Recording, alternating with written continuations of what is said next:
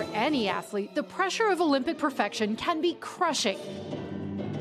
For Victoria Onoprienko, she has to focus on every toss and pointed toe while bracing for air raid sirens. The Russians train in a calm environment. They have no fear for their lives, Victoria says.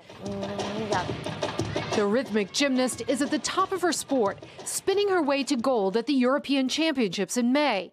During that competition, a close family friend died on the front line. Victoria's father was fighting alongside him. I'm very worried about him. I really wish the war would end. I want him to come home so I can hug him, she says.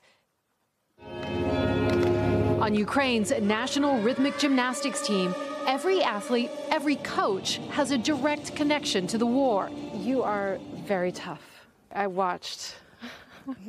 Head coach Irina Derugina and her daughter, an assistant coach, tell me they turn up the pressure so their athletes can defeat their fears. We've had a girl who uh, lost a leg and right now she uh, she's back uh, recovering. She lost uh, her leg on, uh, from the missile attack in Odessa. She just competed in her first competition because sport has helped her recover.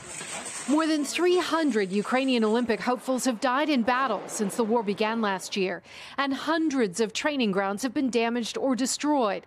The IOC says the Russian and Belarusian Olympic committees won't be invited to Paris, but they say neutral athletes from those countries should be allowed. Facing them on the mat is unthinkable, most Ukrainians say.